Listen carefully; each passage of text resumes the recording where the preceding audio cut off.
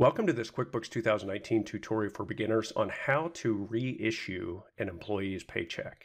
My name is Matt Holquist with the QuickBooks University, and I want you to pay special attention in this video because there is a certain process you want to follow if you run payroll through QuickBooks and you need to reprint or reissue a paycheck to an employee.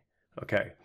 So this can happen in business. You know, you you give a paycheck to an employee, they lose it, it gets destroyed who knows? There's all sorts of reasons this can happen. And they come to you and they say, okay, I need a new paycheck because I lost this one. I, you know, whatever, it got destroyed and I need you to reprint me a paycheck. You say, okay. So the first inclination that most people are going to think of wanting to do is they're going to want to void the paycheck in QuickBooks and then create a new one.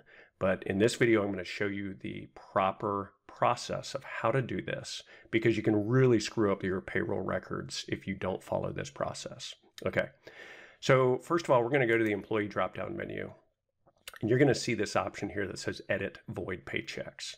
Okay, this is very, very important. First, you want to go here and it's going to bring up the screen of, you know, here are the paychecks. You want to put in the right date of whatever the, you know, the the paycheck was run, and you're going to see the paychecks here for the various employees. So let's say that it was this first one here, Dan Miller, check number 10073, and uh, you know the uh, this employee Dan came to you and said, "I need you to reprint or reissue this paycheck." Now, look at this warning up here. It says, "Avoid costly mistakes." Voiding paychecks cannot be undone. The only common reason to void a paycheck is if you created it by accident. Okay. Now, so you don't want to go in and void a paycheck because what it's what's going to happen is, you know, as you issue that paycheck, it's recording all these payroll liabilities and everything that you need to pay over to the government. And if you void this, it's going to back those out. So it could severely mess up your payroll deposits, your payroll forms, etc. So you do not want to void the paycheck when you need to reprint or reissue a paycheck. Okay? So what you want to do if we double click on this, we're going to pull up this paycheck. All right, so the first thing that you want to do is you want to make note of the check number. So this is 10073, uh, the date 1215 23, the amount 1299 60 and it's to Dan Miller. All right. So that's really all you're going to need for this uh, from this screen here. All right, so the next thing you want to do is if you print paychecks from QuickBooks, click this and you say print later, and it's going to allow you to reprint this. All right. Now, if you handwrite your checks, don't check this and just simply change the check number to a different check number. So let's say that now we said this was 10096. Okay.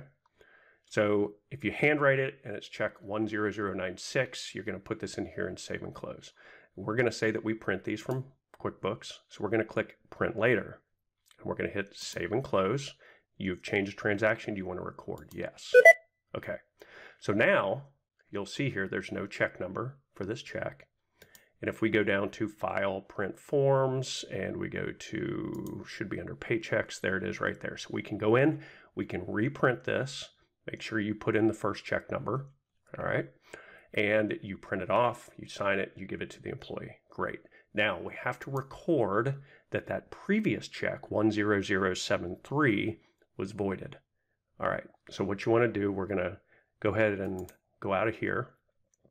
You're going to go to your check register. Okay. So let's say that this is the checking account. And what you're going to do is you can go in here and you can enter the check. Okay. Now, a little bit easier thing for people to do is actually go to banking and write checks. Okay. So if we go to banking, uh, write checks, this is a little bit easier screen. You can you can enter it directly in the register, or you can pull up this write check screen. All right. So we're going to type in Dan Miller, and you'll see this warning that says if you're writing a paycheck, uh, you know, we recommend you turn on payroll, calculate payroll correctly. Not now. You make it another warning that says, hey, you need to you know pay this person through payroll. just click OK, ignore it, it's fine. All right, so up here, you want to put in the paycheck number, that previous number that you are voiding, 10073.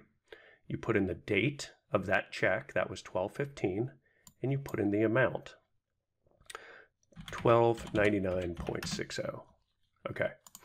Now, down in the memo, uh, you can put in replacement, or I'm sorry, original paycheck. You don't have to put anything in there. And down here under account, what you want to do is just simply go to gross wages. All right. So we're going to leave the customer job in the class and everything um, blank. And then we're going to hit save and close. Let me hit save anyway. All right. So now you see if we go to 1073 Dan Miller gross wages, that's the check we just wrote. Now what you want to do is you want to right click and then you want to say void check. So this will record that you voided 10073. All right. It shows it as zero, so it's not going to, it's going to show zero for the gross wages. And so we say record. You have changed it, yes, to maintain the accuracy of your financial reports, the balance the accounts. Okay, just void the check because this was previously reconciled for a report. Okay, so we have voided the original paycheck. So now the check number in there is voided. And then we have file to print the new paycheck. Okay, so again, a very specific process you want to follow. Don't go in and just void a paycheck. It can cause a lot of problems. Right. For more issues, errors uh, with three free videos, head over to the QuickBooks University at qbuniversity.org. When you purchase the training tutor- tutorials, you become a member, and I help you with your QuickBooks questions. Head over there now, qbuniversity.org.